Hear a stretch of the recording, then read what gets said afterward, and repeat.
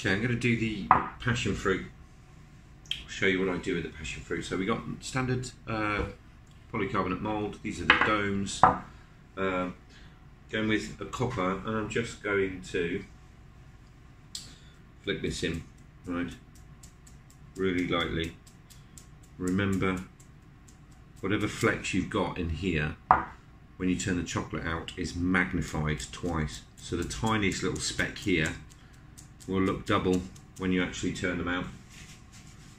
Okay, I doubt if you can pick that up on the colours I'm going to do for the passion fruit. I've got green, uh, an orange, a yellow, and this is a flame red. Um, these ones I make up myself. So just do green. Um, tempered these, they're down at, they're at um, 26, uh, sorry, 29 degrees or so. Uh, should we do a dot in there? Not going to use a gloved finger for this one because I want to feel, I just want to do the tiniest swipe on the inside, right?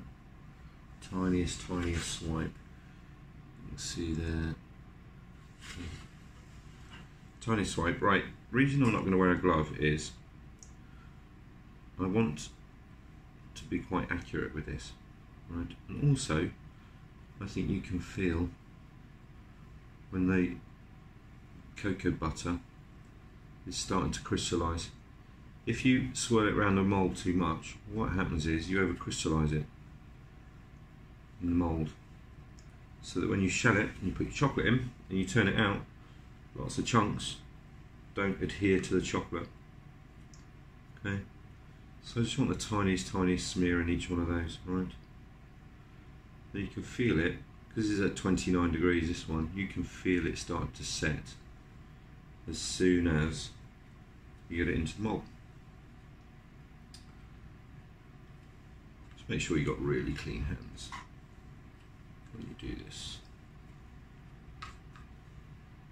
Okay. So there's the first layer done. Just gonna let that dry for less than a minute and I'll start on the next colours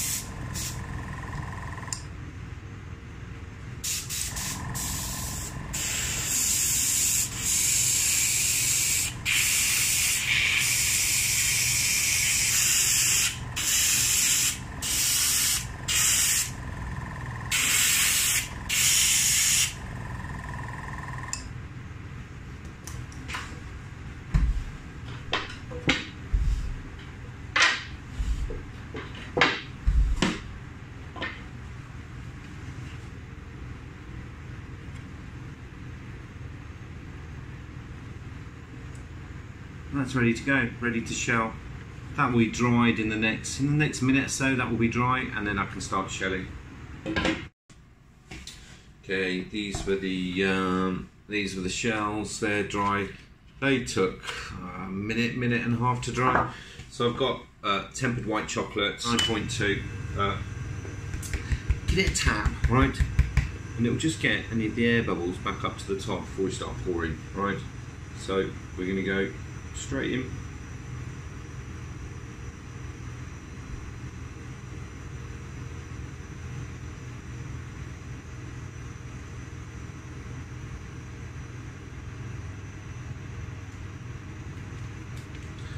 You know, uh, work out how much your molds take, right? On average. I know this one takes 440, right? I know this one takes 440, so I do a little bit more than that uh, so that I don't end up with a mountain of excess. Uh, I'm just going to wipe that in. It's not going to start melting the cocoa butter yet. Uh, the other thing about just measuring how much um, chocolate you need, you won't have excess running all over your mold, right? So, it a tap. So, all the air bubbles up to the top.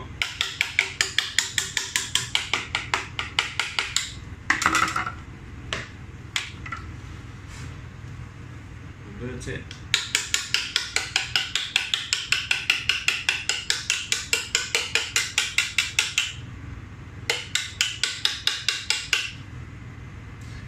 Waiting for those strands just waiting for those strands just to stop right okay. I always pull this to the edge for this one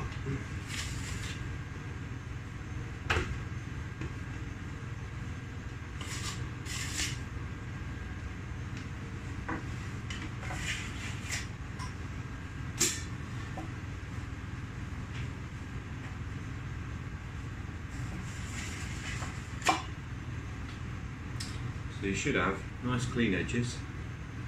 Right, that's going to go upside down now. I'm just going to leave that at an angle at room temperature for about 12 to 15 minutes. Right. Uh, as I said, this one I'm just going to leave on the side there, up at an angle, just allow some of the airflow to go through. Uh, white I tend to leave upside down. Uh, white and milk I leave upside down. Um, dark chocolate I tend to face upwards. I find that works for me. It just gives me a, a, a better shell. Um, there you go, shelling.